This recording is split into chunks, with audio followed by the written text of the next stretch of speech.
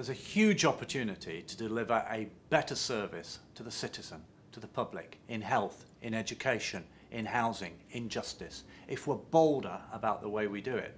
The report shows that most public services are under real pressure, pressures I have every sympathy with. The needs are growing and the means, the money is declining.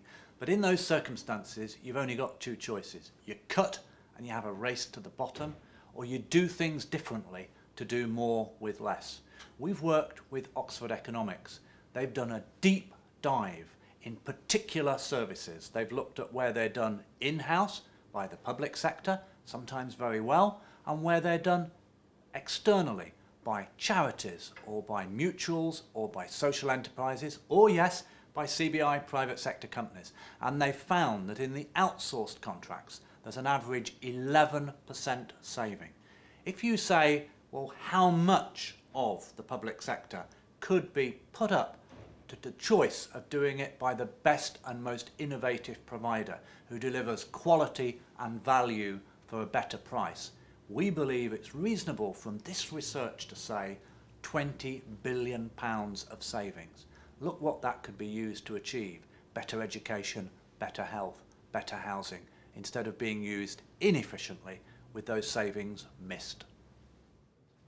I think the first thing the government needs to do is say we're going to go for every prize, every low-hanging fruit on the tree that we can find much of this is uncontroversial. We're talking about the back office wiring that enables a teacher or a nurse or a doctor to do their jobs.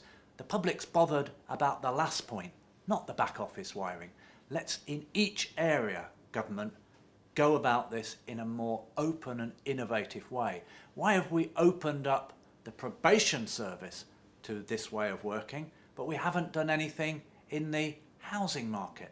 There are big gaps that defy logic. Secondly, if you're going to open it up, then the role of the public servant, the civil servant, the local government official is still hugely important because they determine what the quality threshold is.